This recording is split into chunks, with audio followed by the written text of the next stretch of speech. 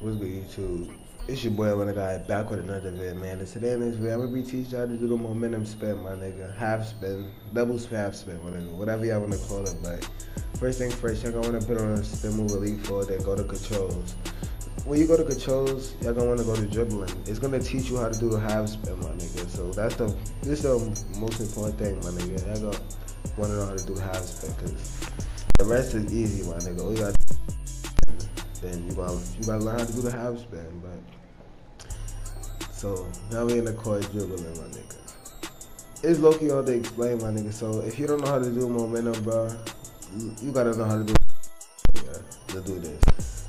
They, you gotta know how to do momentum spin, the basic momentum spin. But once you do momentum spin, y'all gonna do the other step, my nigga. Once, if you know how to do momentum spin, it's only one more step to doing this dribble my nigga you're gonna want to do the high spin after you do the momentum spin.